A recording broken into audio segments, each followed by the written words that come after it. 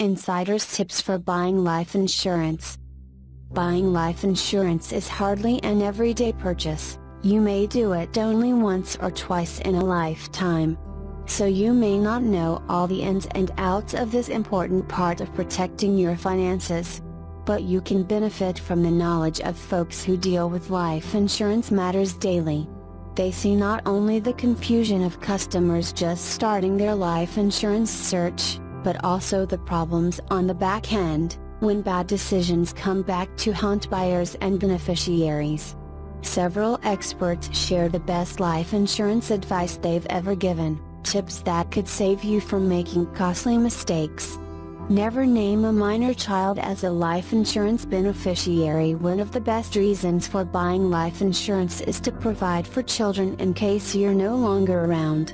Here's the problem, minors can't directly receive life insurance money. If you name a child as a beneficiary, the life insurance company can tie the money up until the kid is 18. Then the child gets it, with no controls, says Delia Fernandez, a certified financial planner and president of Fernandez Financial Advisory in Los Alamitos, California. Fernandez recalls one father who named his young son as beneficiary of a $78,000 life insurance policy. The father died, and years later the young man received the funds at age 18. He blew through $57,000 of it on marijuana and trips to Las Vegas with his girlfriend, then had to spend the rest on rehab, she said. Another young man received $75,000 from the life insurance policy when he turned 18 and immediately bought a sports car.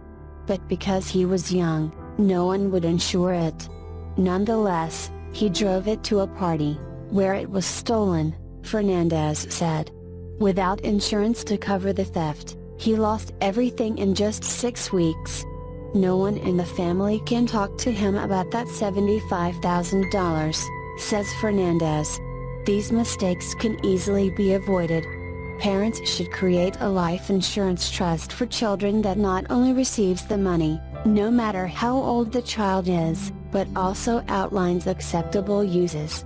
You can have the trust disperse specific amounts of the money at certain ages, like 25, 30 and 35.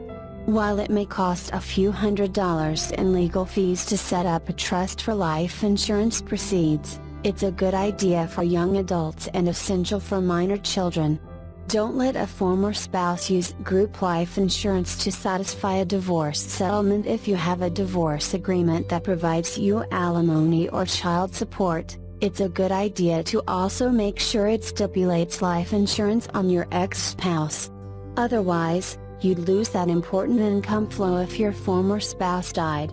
But using group life insurance from the workplace is not a good choice, says Chris Chen a certified financial planner at Insight Financial Strategists in Waltham, Massachusetts. Term life insurance is fairly inexpensive, maybe cheaper than you think. More importantly, it doesn't hinge on a job. These days the likelihood of changing employment or dropping out of the workforce is reasonably high, Chen says. If you have to change jobs, you might not have group life insurance there, or you might find that you are no longer insurable due to health issues. Here are more divorce-related tips from Chen. The life insurance buyer can align the policy's term to the years of alimony or child support required. If the divorce agreement provides for 15 years of child support, you can buy a term life policy for 15 years.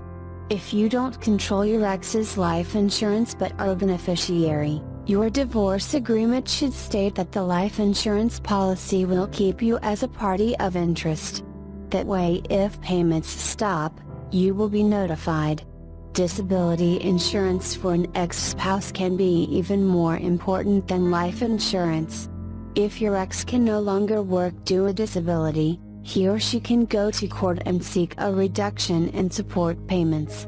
Before buying whole life insurance, Compare term life quotes The only ones who really have great positive things to say about whole life insurance are insurance agents, says Chris Huntley, president of Huntley Wealth and Insurance Services in San Diego. According to Huntley, personal finance experts generally agree that you should buy term and invest the rest. Yet sales numbers show that permanent life insurance is hugely popular, indicating that life insurance agents are heavily pitching the product. Among U.S. households with life insurance, 50% own only permanent life, 32% own only term insurance and 18% have both, according to LIMRA, a financial services research group. If you're considering whole life insurance, Huntley suggests you also get quotes for a long duration term life insurance policy, such as a 30-year term, or a policy that covers you to a specific age, such as 65. That way you can see what it truly costs to insure your life and separate that from the money you'd be paying for fees and the cash value portion of a whole life policy. Most people only need life insurance for 20 to 30 years, typically to cover a mortgage, growing children or working years, Huntley says. Talk to a financial expert about what you could do with the savings from buying term life insurance instead. Make sure your life insurance policy has living benefits. Living benefits have become a relatively common component of life insurance policies that allow you to access the death benefit money yourself while you are still alive under certain circumstances. Being able to tap into your policy this way could prove crucial if you become ill and need money to pay for living expenses or medical care, so make sure your policy has this feature says Pamela Blick, a certified financial planner in Palm Desert, California. Living benefits are generally considered riders, or policy extras, and include, an accelerated death benefits rider. This lets you access your payout if you are diagnosed as terminally ill. Rules vary but might include a life expectancy of 12 months or less, for example. It may be included with your policy or available for a small extra charge. A chronic illness rider. This lets you access your life insurance benefit without a diagnosis of terminal illness. Instead, eligibility to use the rider will generally depend on your inability to do two or more activities of daily living, such as eating, bathing and dressing. Blick advises that you understand what life insurance riders are available to you and what you would need to do to claim the benefits. Include payment with your life insurance application to make the policy binding. You don't have to wait weeks for your life insurance application to be processed before coverage can begin. Include a check for the first payment with your application, and you'll bind coverage retroactively to that day, says Marvin Feldman, President and CEO of the nonprofit education group Life Happens. It's an easy way to make sure your family will have the financial safety net on the off chance you die before your policy is processed. Thanks for watching the video. Share video to see it all. Subscribe to my channel.